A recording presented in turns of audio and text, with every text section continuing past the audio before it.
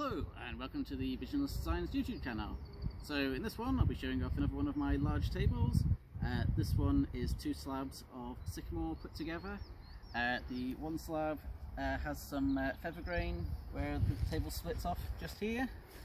Um, as usual I've got the uh, U-legs on the bottom, um, which I quite like to use on all the hardwood tables. Uh, this table has been treated with woodworm treatment uh, to prevent any bugs from getting in and uh, I've also put Danish oil on top of it. Uh, varnish can be um, requested as well uh, if, if uh, you desire. Um, the table length is 206 centimetres, the width at this point here is 71 centimetres and the width at this point here is 107. The table height is also 71 centimetres high. Uh, and now we'll see how many table, uh, how many plates we can get on this.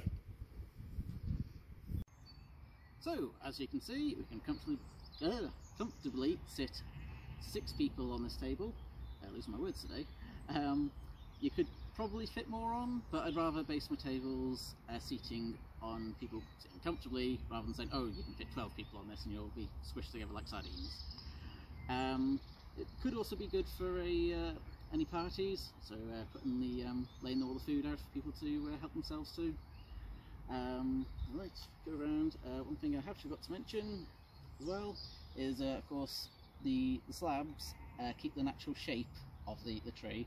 I have removed the um, the bark on these ones, but I've left all the knobbly bits and all the bumps and curves on it, so you're still keeping the natural shape that the um, of the original tree. Um, and of course, as I said, this is uh, treated with Danish oil, um, so it'll be fine outside. Um, probably better under a shelter. Uh, if you wanted it out in the um, in all weather, then I'd recommend uh, applying varnish to it, um, which I can do if requested. So uh, full details on this table can be found on the website www.visionlessdesigns.com and uh, thanks for uh, viewing the products.